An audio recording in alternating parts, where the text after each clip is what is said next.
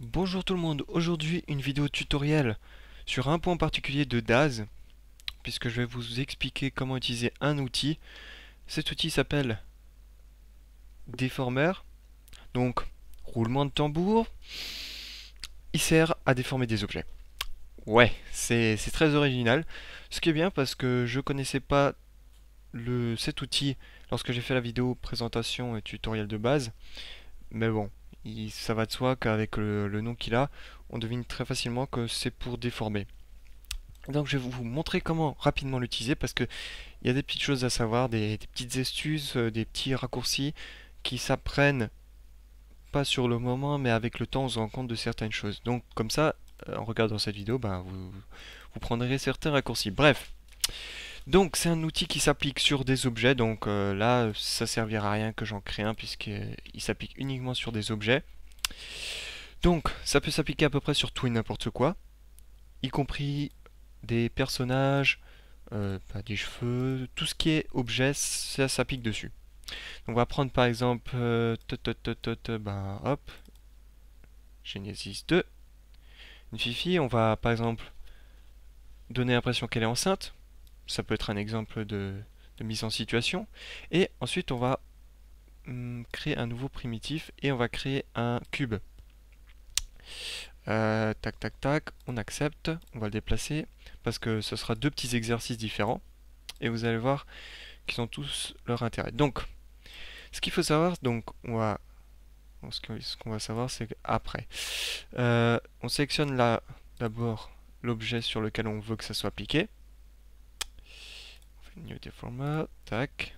On ouvre le panel, la scène. Donc, vous voyez, ce qui a été créé, c'est ça et ça. Ces deux choses. Et ces deux objets sont liés.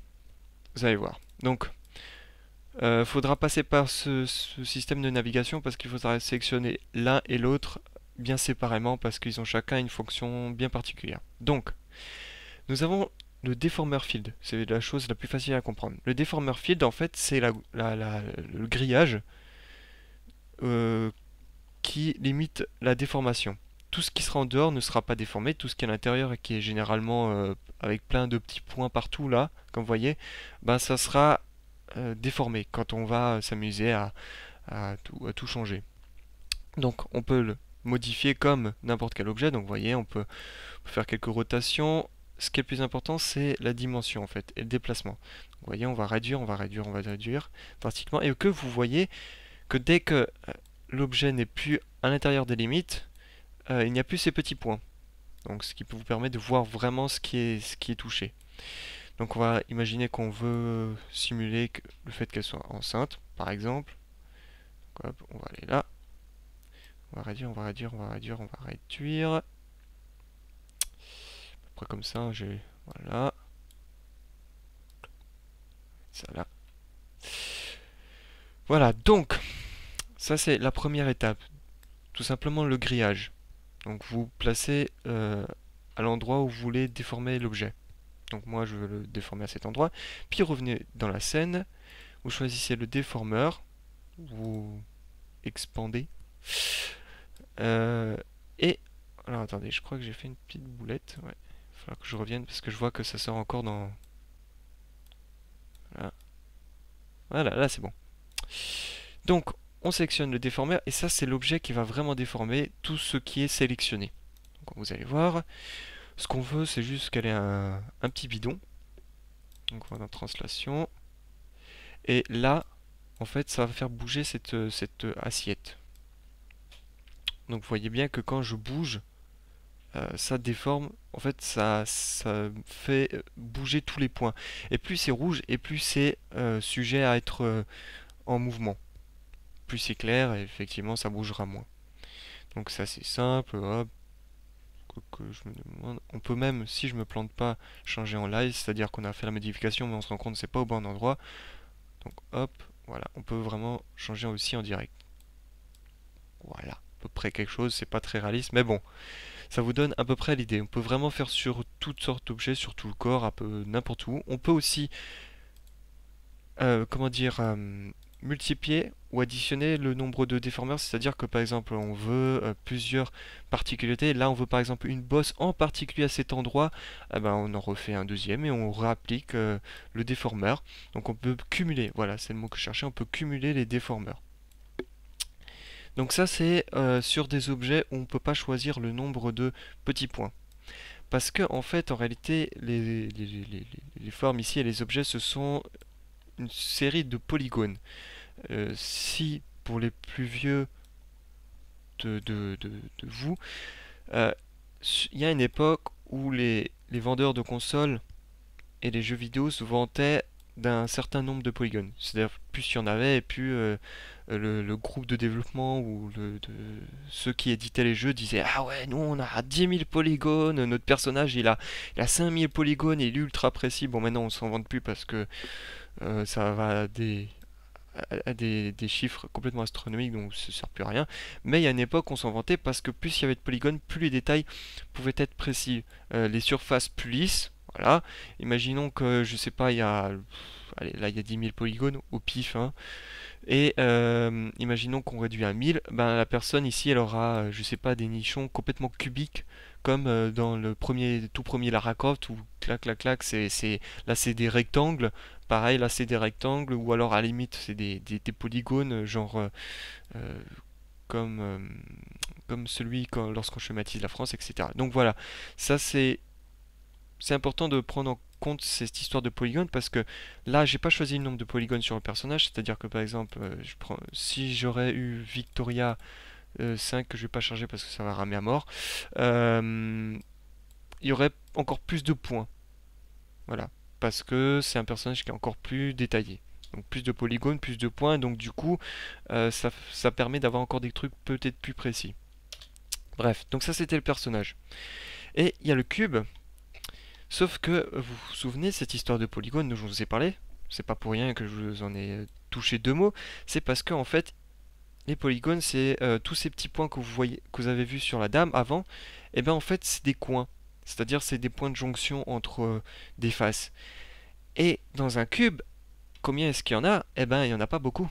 C'est-à-dire, à part ces, points de jonction qui se trouvent ici dans les Alors attendez, ça c'est arrête, ça c'est les... On va dire coins. Dans ces coins, il n'y en a pas beaucoup en fait. Il y en a 8. Euh, on a 8 sur le cube. Donc, si par exemple on veut s'amuser à faire euh, quelque chose de bombé sur la surface, théoriquement c'est pas possible. Et on va le tester, vous allez voir, c'est... ça... C'est pas possible. OK. Donc vous voyez, il n'y a rien. Bon, alors je vais juste agrandir pour que au moins... Non, pas ça. Je me suis planté. On revient ici, cube, tac. Donc si vous voyez ici, ça se voit à peine, mais le coin ici, il y a un petit point jaune. Je vais juste bien zoomer dessus. Ici, la vidéo est de qualité dégueulasse, mais je l'assure, ici, il y a un petit point. Et il y a un petit point pour chacun des coins.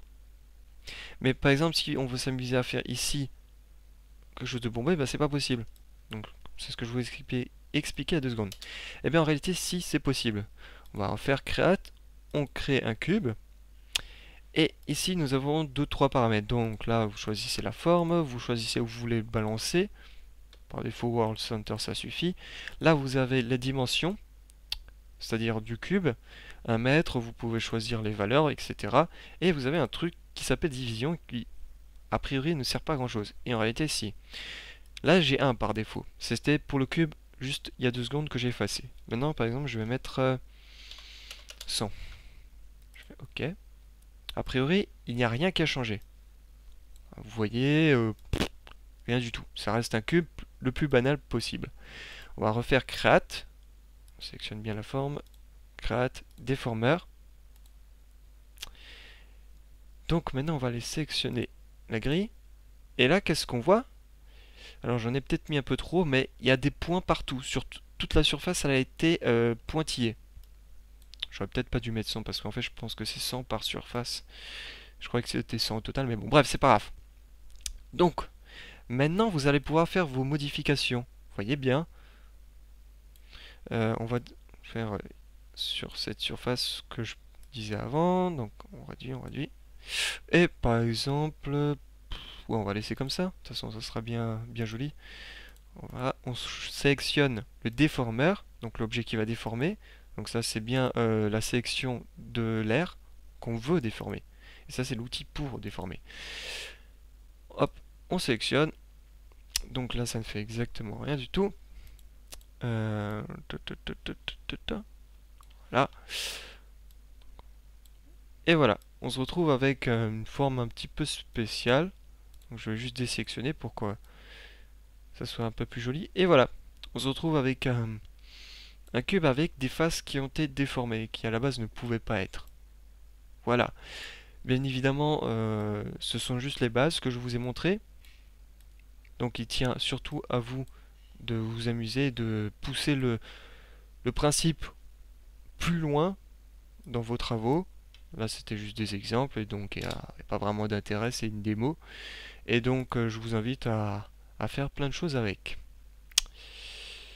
Euh, qu'est-ce qu'il y a d'autre? J'ai pas grand chose à dire, n'oubliez pas que j'ai un compte DeviantArt. Voilà, vous pouvez aller visiter, ça fait toujours plaisir.